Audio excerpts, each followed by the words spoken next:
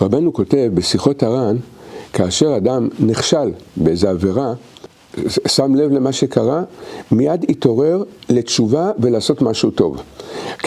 ככל שאדם יותר מתעורר מהר, הוא מיד מתקן, הוא מתחיל כבר לתקן את הכישלון ואת העבירה.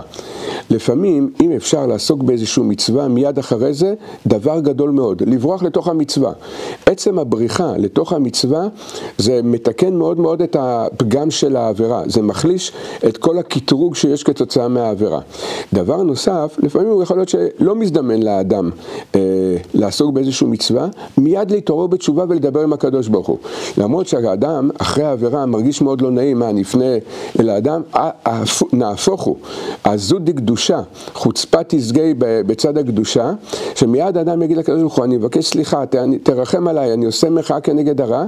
למעשה, כמעט אדם עושה תשובה שלמה ברגע שאדם מתעורר מיד בחרטה על הדבר הזה, או שעוסק במצווה.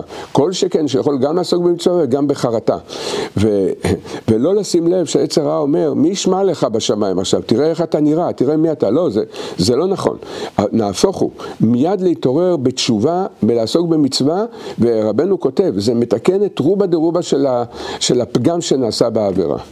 הירשמו לערוץ של הרב ויישארו מעודכנים.